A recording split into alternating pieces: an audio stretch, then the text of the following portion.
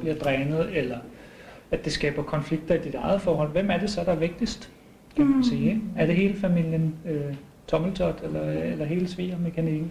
Eller er det din partner og, og hvad skal man sige, det der nære fundament, der er vigtigst? Også for børn, ikke? Ja. Så, øh, Men jeg synes, Ja. ja. det er rigtig vigtigt det der med os.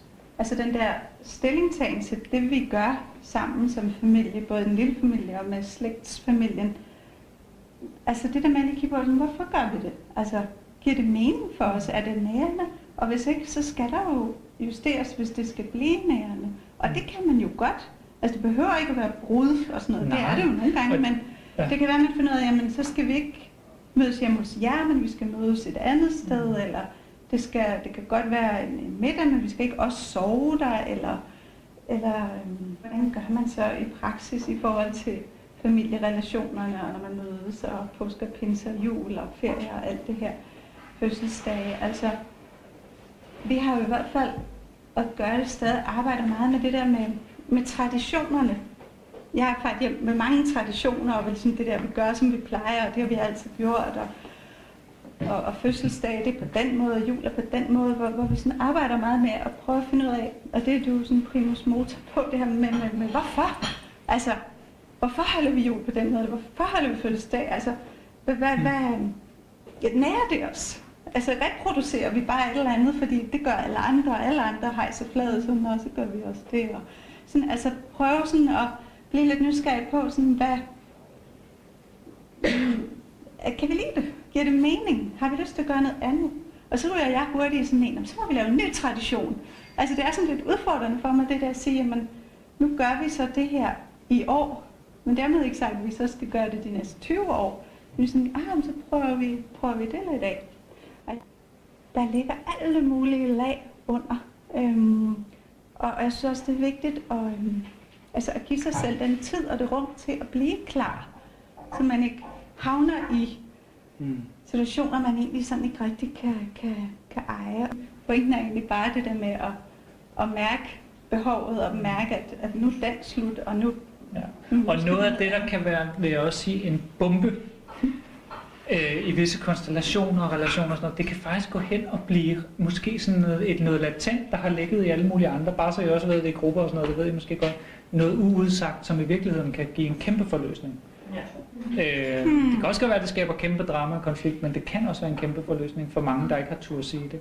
Øh, de har sgu også lyst til at gå en tur, eller de gider sgu heller ikke det der, altså egentlig, Mm. men de gør det bare af tvang, ikke? Altså, Så, så alle sidder og opretholder noget, som alle er dybest set er færdige med. Altså det er helt skørt. Det tror jeg, der er rigtig meget af, faktisk. Dybest set, når noget ikke længere begejstrer os, så er det faktisk tegn til, at der skal justeres lidt.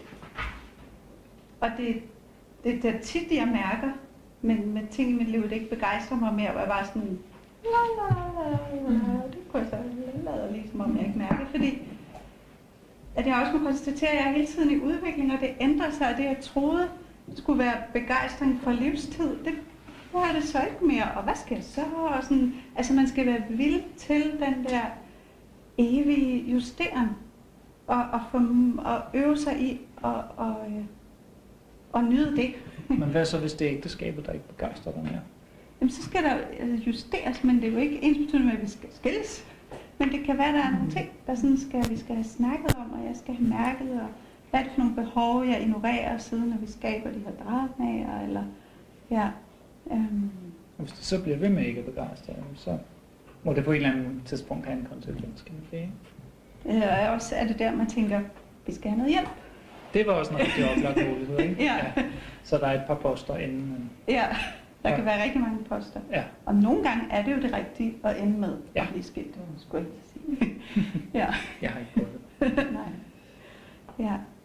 Men det synes jeg, der har været svært for mig, at det der med at acceptere, at alting har sin tid. Jeg vil så gerne det der, når man er sanger, så er det der resten af livet, eller nu er jeg sammen med ham, eller så er det sådan, vi holder fødselsdag. Jeg må bare konstatere, hvis jeg skal være tro mod mig selv, og det jeg mærker, det der gør mig glad, det som begejstrer mig, det som jeg bliver opløftet af, i stedet for drænet, så er der altså rigtig meget øh, sådan justering undervejs.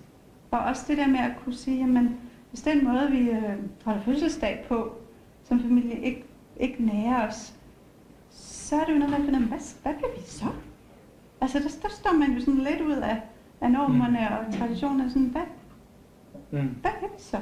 Altså, Det er, jo, det er jo super interessant. Hvorfor, Ja. hvorfor skal man holde, altså, det, hvorfor skal børnefødselsdage være på den samme måde? Altså, eller hvorfor skal vores måde at være sammen på være på den samme måde igen og igen og igen? Jo, selvfølgelig er der nogle fordele, altså noget man har set er rigtig godt og brugbart i den måde at samles på, men det er jo jer, der har det frie valg i bund og grund til Ja. at finde ud af, hvad I synes er dejligt og smagfuldt, og så gør det på den måde.